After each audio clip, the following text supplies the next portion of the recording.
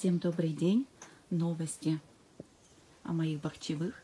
Меня не было 10 дней, а, и э, приехав, я обнаружила, что у меня вот такой уже достаточно крупный плодик арбузика. Его нужно подвешивать.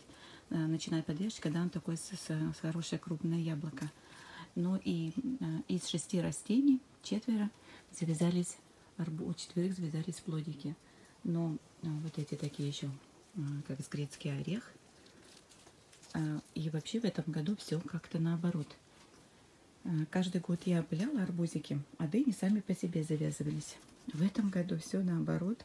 А, арбузы я буквально пару раз опыляла, но они и сами каким-то образом завязываются. А вот дыня вообще не радует.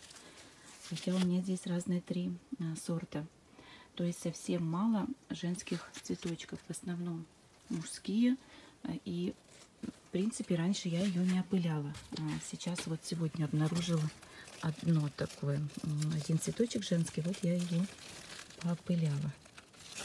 И все. И все, пустые цветочки, либо вот они уже, вот, женский цветочек, но его уже не опылить, он закрытый.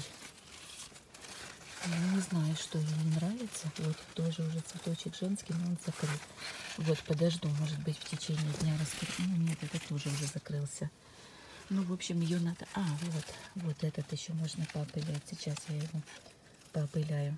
Ну, то есть мы срываем женский цветочек и вот э, сюда, значит, э, пыльцу стряхиваем аккуратненько.